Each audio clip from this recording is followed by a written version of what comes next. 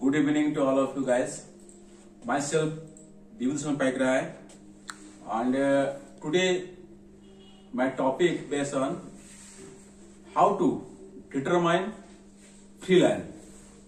You know, free lime presence of cement and clinker is not very good criteria. You can say it very harmful for cement and clinker. Okay. In this case, free lime case, maximum free lime, free presence can occurs corrosion, crackness, and many many effects of cement structure like beam, dhalan. Okay. So it can weak the strength of cement. We can say it, it can reduce the cement of strength. Okay. So presence of high free lime, we cannot say it, it is a healthy cement. So today topic, how to test free lime. Okay, by step by step, I am just elaborating everything. Free lime tested, testing method, three types. Ethanol glycol method. Second, ethanol glycol rapid method. Third is ethylene ethylene glycol method.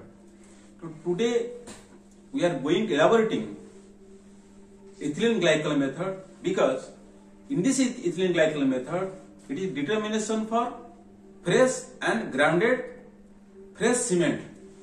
Okay. So please come with me. It is standard as per IS 4032. Okay. So please come.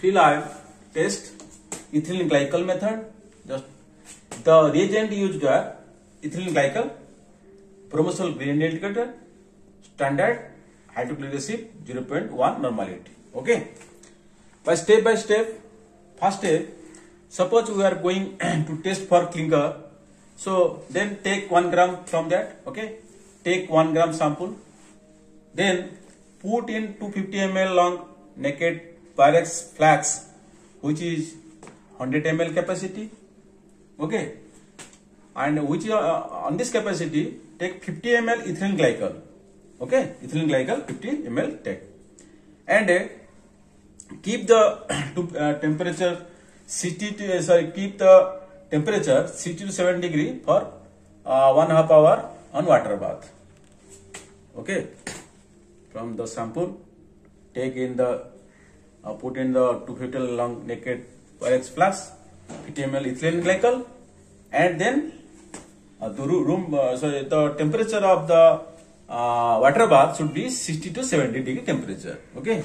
And it is noted every time 5 minutes it should be not uh, lumps and baking form.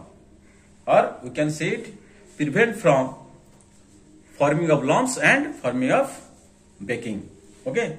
We carefully noting at that time during 5 minutes detection because it should be very carefully. Otherwise if it is baking or lumps forming so the testing result not clearly uh, uh, happening automatically wrong result arrive. Okay?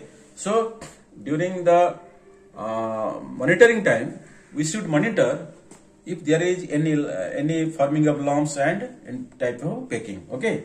Then filter the solution to 250 ml by 41 filter. When filter 41 filter use okay? And uh, wash with methanol. Because one major parameter in this filter it should use methanol. Should be water free because 1% of water is very important from the from this uh, testing. So it is carefully when we wash the 41 filter paper use methanol okay during the washing okay. Then add bromosol uh, bromocresol gradient 1 to 2 drop when we are going to titration okay. When it will go ready for titration bromosol green indicator. Then filter to the titration with the uh, after filter uh, filtration complete and uh, ready for titration and the titrated by 0.1 HCl okay 0.1 standard standard HCl and titration by 0.1 HCl. And uh, when titration started, that time we have note that the color should be green to golden yellow. When golden, golden yellow arrive, that time we have to stop. It means uh, our titration completed and we have to stop at that time when golden yellow color arrive. Okay. How to calculate? Finally, the burette reading into the equivalent weight of calcium oxide. Calculation. Okay.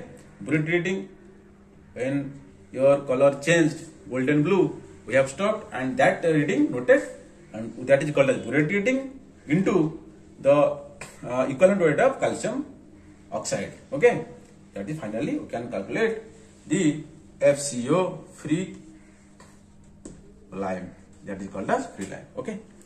This is my testing how to test or how to evaluate determination of free lime is very important. This is my video.